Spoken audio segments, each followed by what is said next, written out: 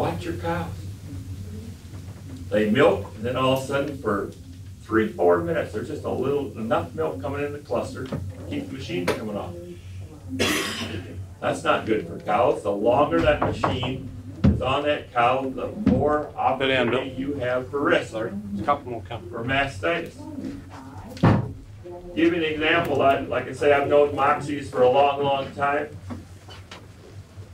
Fourteen months ago, their average duration on their dairy was five point two or five point five minutes per cow. Now the cows are given three to four liters more, three point seven to three point eight minutes. Same people, same machine, but they're milking the cows what? Almost thirty percent faster. And you know why? They're spending more time prepping cows. They're spending more time and getting faster milking. It works everywhere in the world. I'm telling you, it will work here. The other thing I see here everywhere is your letdown. Every dairy that don't prep, what happens with machine on, the cluster's full of milk. Fifteen to thirty seconds later, there's absolutely no milk in that cluster. And then thirty to forty-five minutes late, seconds later, cluster's full of milk again. Kills your cows, absolutely kills your cows. But it's kind of the way it's always been, hasn't it? Just think if we could eliminate that thirty to forty-five seconds on every cow in your dairy, what's that impact? It's huge.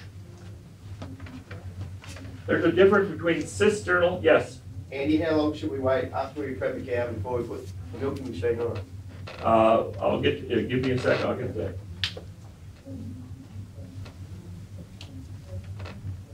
There's a difference between cisternal letdown and mammary letdown. And that's what everybody has here is cisternal letdown. The milk that's in the cistern and teats comes out fast. And then we have to wait until the alveoli start collapsing. And then we see that thirty to forty-five seconds later. Watch your cows. They'll tell you the truth. You know, here's a cow and here's a typical Australian cow. We put the machine on, we get flow, followed by no flow, followed by the true letdown.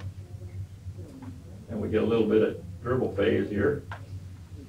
And your cows aren't stupid. Here, almost every dairy I've been at, what are the cows doing towards the end of milking? And then, if one of them's smart enough to kick the unit off, we're smarter than her, we put it back on. You ever watched your heifers here? Man, they don't like it towards the end of milking. So what happens? They learn to say, well, no one's smart enough to take the machine off, so I'm gonna dribble. And all of a sudden, a heifer that used to milk in two and a half minutes, milks in six minutes, and we're all happy. And then everyone say, well, doc, you don't understand, when they milk two and a half minutes, they were given a lot more milk. I said, let's see. Lots of milk, short time, less milk, long time. Don't make sense to me. So again, we gotta think about these things. Here's a cow. Prepped her pretty well, milk went on, high flow, boom, it came down, and because of our ACR settings, or if we don't have a good prep, they'll dribble. You know, here's a perfect cow, you know, look at, this is what we're trying to strive for, instant letdown, milk, get the damn machine off. That's what we're looking for. Most people don't realize eighty percent of over milking on dairies occurs at the beginning of milking, not the end. Everything's over milking at the end of milking. What do you think it means when a cow has no flow and high vacuum at the beginning of milking? Same thing as what over milking is at the end of milking, high vacuum, no flow. Eighty percent of over milking occurs at the beginning of milking, not the end of milking. Think about that.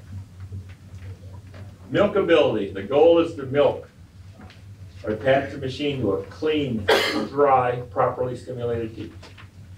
It's that simple. More and more dairies in Australia are implementing milking routines. Yesterday's meeting, dairy farmer told me, now he preps and has lowered his cell count, increased milk production, increased time in the farm over thirty minutes. How many of you don't have something else you could do? If you save thirty minutes in the morning, thirty minutes in the afternoon, that hour, couldn't you do something else? I'll bet you can. Even if you have employees, couldn't they do something else? Bet they can. And what's, what's in it for the cow? She had more time to eat, more time to lay down. I think that's a good thing. And if she wants to stand in that parlor as long as she can, absolutely not. If you want to achieve your goals of a low bulk tank, uh, cell count, low clinicals, you must have a milking routine, period. When it's dry here, when you got enough pasture for the cows, you can get by with murder. But when do you guys have your mastitis? When it rains and when it's hot. Why is it different then? Why is it that they have more trouble then? Because why did it work all the other times? So those are the questions you gotta start asking yourself. You must have a milking routine, but sometimes, you know, consider doing it when you need it. You know, you don't have to do it all the time. But again, you might wanna start it when things are, you're really having problems. Full prep versus no prep, no prep. Here's a dairy, double thirty-six, they get three point five to four turns per hour in that parlor. Here's the exact same parlor with the exact same number of people. And now they have a full prep and they're getting five to five point five turns per hour. So when people say, I can't afford to do this, I look at them and say, how can you afford not to? Think about it. Same labor.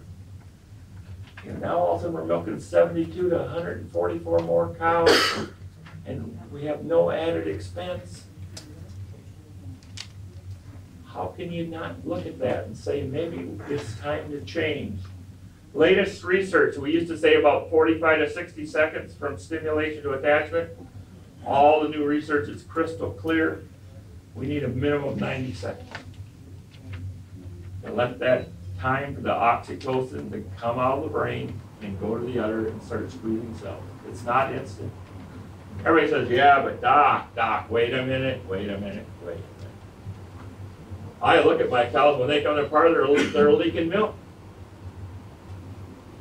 Says, just think about that. If that's really all the stimulation they need, they should be milked out by the time they get to the parlor.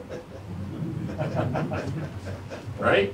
Because they're saying, hey, I'm going to get milk, man, I'm so happy, I'm gonna let my milk down, and all of a sudden, it's all gonna be in the holding area. It's not true. The bottom line is what you're seeing is, that's the cisternal letdown. That's all you're seeing. If their cows were truly letting down their milk, why is it those clusters go empty? So again, makes a difference. I had a dairyman we were at last Tuesday, I guess this Tuesday. Anyway, he said, I went home from your meeting on Monday night. He says, time was exactly the same. I said, what'd you do differently? He said, well, I stripped all my cows. So I said, now you stripped all your cows, but you finished in exactly the same amount of time. Said, so how's that possible? You had all that time, but you milked cows as fast. So I went to his, he had a computer thing, I looked at thing, he got, what, one and a half more liters of milk in that milking. He milked four more cows an hour. And then he started saying things like, you know, I never had to reattach a single unit.